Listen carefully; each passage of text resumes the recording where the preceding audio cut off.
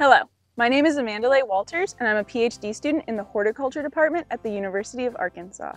I'm here at the University of Arkansas's Fruit Research Station in Clarksville. Today, I'm going to be talking to you about how to sample blackberry leaves to monitor the nutrient status of the plant and to check if our fertilizer program has been successful for this season. For floricane fruiting varieties, we recommend to sample after the harvest of the floricane fruit. This is generally late July or early August. For primocane fruiting varieties, we want to sample the, at the green to red stage of the primocane fruit.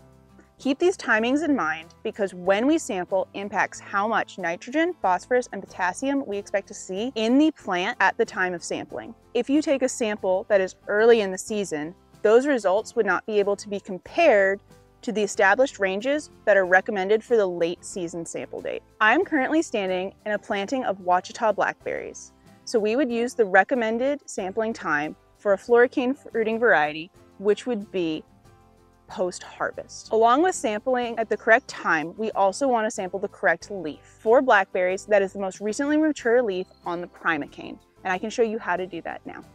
When sampling our leaves, we want to start at the tip of the primocane and count four to five leaves down.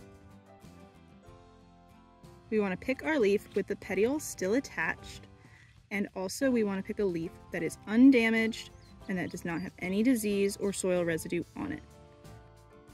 Leaves do not need to be washed and should be immediately placed in a paper bag to store, not plastic.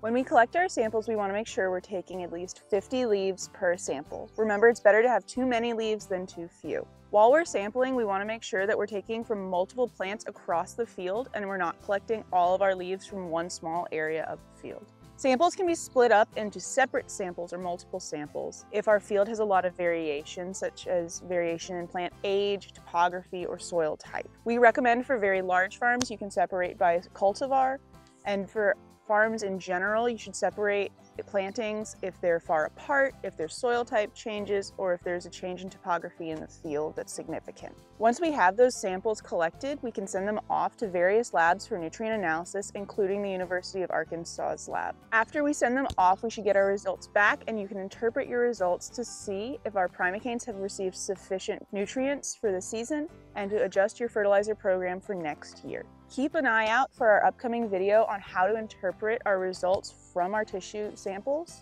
And thank you so much for watching.